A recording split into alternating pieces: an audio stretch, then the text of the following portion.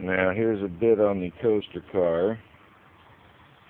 Got an articulated front end so that the front wheels can pivot independently for when it goes around the turns. It doesn't lift up on the three wheels.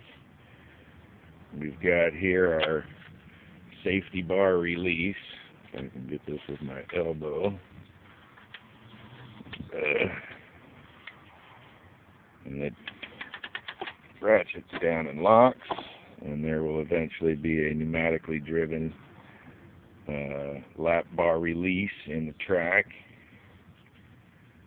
Uh, I'm going to go ahead and pull the car up here so that you can oh,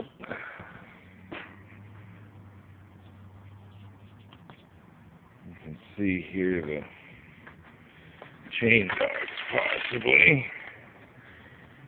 and how they latch into the chain. You can kind of see it right there, but that's not a very good shot. Let's see if I can get a better angle on it.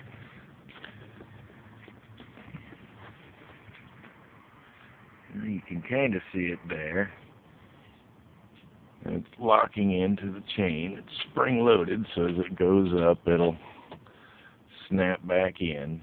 The rear one does all the work. The front one is mostly just to get it started in when it leaves the station.